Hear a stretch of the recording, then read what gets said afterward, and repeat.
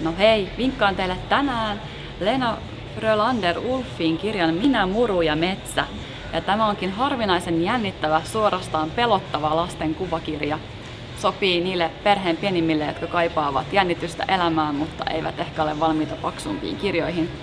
Tässä kerrotaan siitä perinteisestä joka lapsen kauhusta, eli pimeästä, ja siitä, että kuinka sinne mökillä täytyy käydä metsäpissalla yksin. Ja tämä päähenkilö pelkää lähteä sinne metsän pimeyteen, mutta saa tuollaisen murukoiran kaveriksensa sinne. Onneksi. Eikä se metsä ihan ehkä täysin vaaraton olekaan, vaan sieltä löytyy kaiken näköisiä hurjia otuksia, mutta onneksi niistäkin sitten mahdollisesti selviydytään. Tämä on tosi ihanalla tämmöisellä akvarelli raapetekniikalla kuvitettu ja aikuistakin saattaa jo vähän jännittää lukiessa.